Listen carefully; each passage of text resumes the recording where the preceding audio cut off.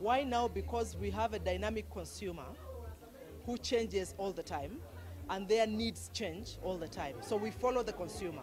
Once the consumer requires another need, we do the innovation according to what the consumer needs. So this is another consumer need that we are addressing to uh, sort out the current consumer stains that are available because the previous OMO was not that effective go, uh, following the new stain that we have in the market now. Because right now the kids do not do a lot of outdoor, they do a lot of indoor, but some of those stains are not beatable. But we've brought a formula that can sort out the now stain uh, to catch up with the dynamic consumer.